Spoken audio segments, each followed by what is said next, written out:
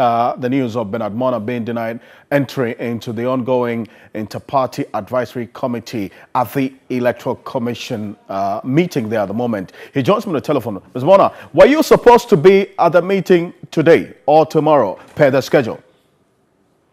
Well, the program that I was sent, we have two meetings for today.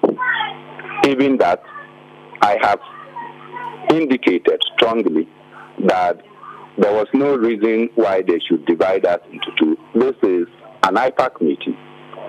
First, the decision to have three members at IPAC was not a unilateral imposition from the Electoral Commission. It was by all of us. Second, that you are asking 15 political parties to bring one representative each. If you look at the 16 represent uh, 16 political parties, and you want to respect the president's decision, then you would have noticed that all the 16 can sit without flouting the president's maximum number of 25, even if you added six of the electoral commission representatives.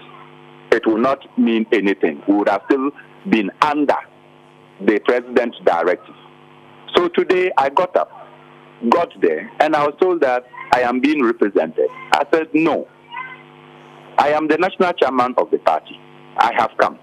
No one has been designated to come and represent the party. My national organizer called me. He is a regular member of IPAC, and I told him I was going. My youth organizer followed up. He even came to the Electoral Commission, met me at the entrance, and I told him, no, I'm going. Only to get there, and then I was stopped by the police that somebody is representing the PNC. When I asked, they said Atik Mohammed. I said, ah, this is a young man who has publicly indicated that he speaks for the Mass Action Committee and he but, doesn't but, speak for the PNC. But he is still an executive member of your party, isn't he? You know publicly that that is not the case. Has he resigned from his position? No, you know that Edward Mahama has suspended him through NEC. And Atik has not participated in IPAC meetings for the past three years. Suddenly, the Electoral Commission can go and call him and then come ask him to come and participate in the meeting. So clearly, I mean, well, this is an internal party situation. I mean, uh, you're saying that Atik Mohammed is an illegitimate person to represent the party them, at the IPAC meeting? Them. And then Sylvia Annoh, who speaks for the Electoral Commission, told the police that I should wait. I waited out for more than 20 minutes.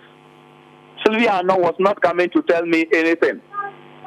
So what it appears is that the Electoral Commission is hell bent on doing what they want to do in flagrant abuse of the president's directive and even pushing things that we have not consensually agreed on. Now, how did they violate the president's directive? I'm sure the reason why they had these two sessions, according to the electoral commission, was to ensure they don't get over the number. That if you have 16 political parties, and the 16 political parties, you are asking them without any reason that they should bring one each. How can okay. 16 be equal to 25? Right. Zamana, thank you for your time this afternoon. Bernard Mornah is the acting PNC national chairman joining us on telephone.